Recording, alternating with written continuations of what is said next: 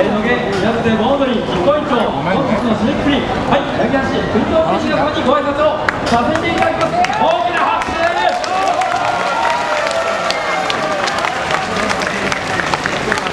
どうも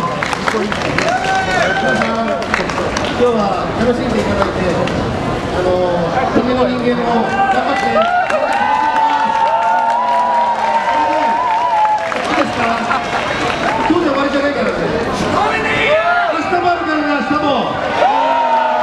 みんな来てくださいねいいですかあとはねこれからみんなね野毛の街に繰り出してね野毛の一生懸命でお肉してくださいよお願いします